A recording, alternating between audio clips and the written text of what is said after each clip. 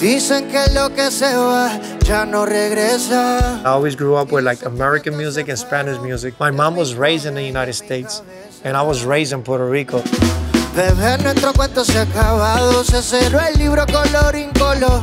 My brother used to listen to Biggie, Tupac. He was always like freestyling in the backyard, and I used to jump in and throw a couple rhymes, and that was like a big step.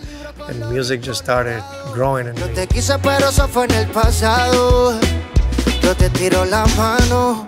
Si alguien te pregunta qué, cómo es, que vayan a tu cuenta.